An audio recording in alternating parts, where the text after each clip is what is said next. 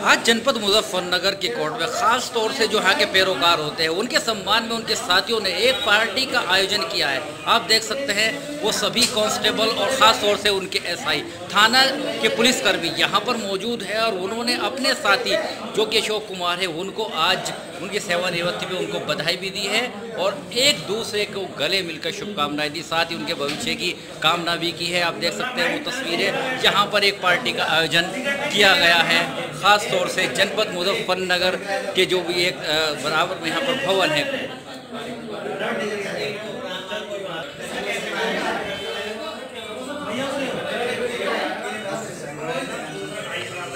इस मौके पर उनके साथी खास तौर से सचिन कुमार, अनिल कुमार, सुनील और संध्या, सुजाता, सिखेड़ा और अनिल कुमार आदि ने भी विशेष सहयोग दिया है। देख सकते हैं उनकी तस्वीरें। जी बताइए क्या नाम है आपका? मेरा नाम अशोक कुमार है। क्या हुआ आज? आज रिटायरमेंट हुआ है। कितने दिन की सेवा कैसे कहाँ कहाँ रही? मैं आगरा रहा इटावा रहा मेरठ रहा। जनपद मुजफ्फरनगर में कब से थे? मैं 2010 से। 2010 से। कहाँ पर थे इस वक्त? सबसे पहले नई मंडी। मैं इस समय तो मैं बोराकला थाने पर हूँ। बोरा कला थाने पर।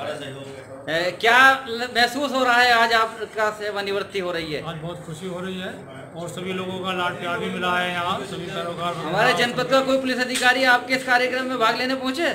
अभी वो तीस तारीख में है। हमने आपको सुनवाया है, ये थे अशोक कुमार, जो कि आज हेड कांस्टेबल सेवानिवृत्त हुए हैं भोरा कला से। इसके अलावा भी आज उन्होंने बताया है कि आज तो उनके साथियों ने एक पार्टी रखी थी। इसके अलावा तीस तारीख को एक बड़ा प्रोग्राम होगा, जिसमें सभी पुलिस अधिकारी भाग लेंगे। इस मौके पर जो खास तौर से अनिल कुमार वगैरह और उनके साथी जितने जून से प्रारंभ होकर तीन जुलाई तक चलेगा ये भव्य कार्यक्रम, जिसमें देश विदेश के शिरकत करेंगे श्रद्धालु।